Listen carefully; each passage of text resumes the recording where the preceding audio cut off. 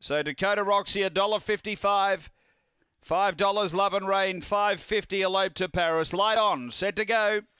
Second leg of the quadrella. First leg going the way of two burnt gold. Racing, speed rhinestone ash down near the rails, going to boot through early. Elope to Paris coming over. Between runners are now on the inside is Kanga Lights. Then came Big Prediction. Uh, they're tightly bunched. Dakota Roxy was there, and then Love and Rain. Only two lengths covers them as they run to the bend. Have a look at this. Kanga Lights sailing through on the inside. It was able to burrow up underneath Big Prediction. Kanga Lights clear, close. Big prediction dived. Kanga Lights or Big Prediction. It's a photo. Third Elope to Paris or Love and Rain. That's a photo. Then Dakota Roxy and Rhinestone Ash in a uh, really keenly contested affair. Time is 23.28 and the four is in the frame. So Big Prediction gets the bob and gets the result. For uh, Ross Panagiotto, it's 4, 2, 7 and 8.